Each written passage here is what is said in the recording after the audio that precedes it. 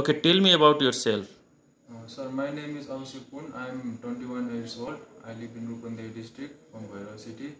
Uh, I have passed my SLC and my my plus two is under running, and I have four members in my family: my father, my mother, my younger brother, and myself.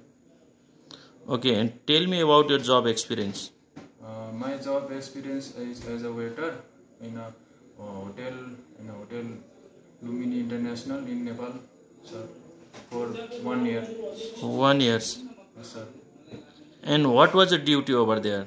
Uh, the duty over there is to uh, serve them uh, to the customer, uh, make them a happy, make them a happy customer, and And why you want to go Romania? uh, I want to go Romania because uh, my family uh, financial is very much low.